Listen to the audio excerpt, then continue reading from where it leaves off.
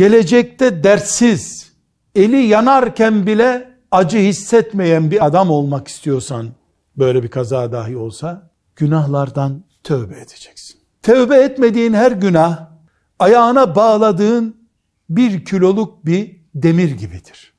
Beş tane, on tane, yirmi tane kiloyu ayağına bağladıktan sonra yürüyemezsin. Gam, keder, vesvese seni şizofrenik hasta yapar. OKB hastası olursun. Tövbe şart.